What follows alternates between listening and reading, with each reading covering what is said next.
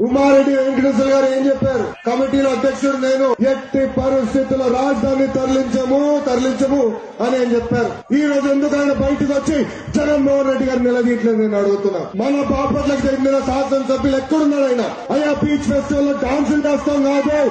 ప్రజలు అందుబాటులో ఉండండి మీరు? మహిళలకి ఇంత అన్యాయం జరుగుతుంటే ఎక్కడున్నారు విజయలక్ష్మి గారు అని అడుగుతున్నా.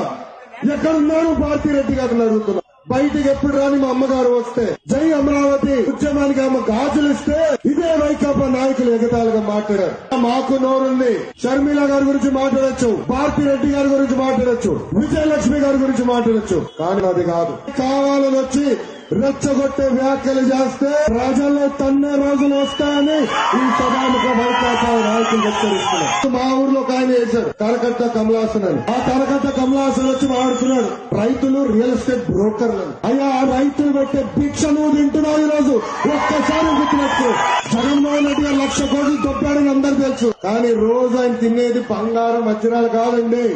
రైతన్న పండించే కూరగాయలు మహిళల్ని మీరు తంతే ఊరుకోరు మహిళలు.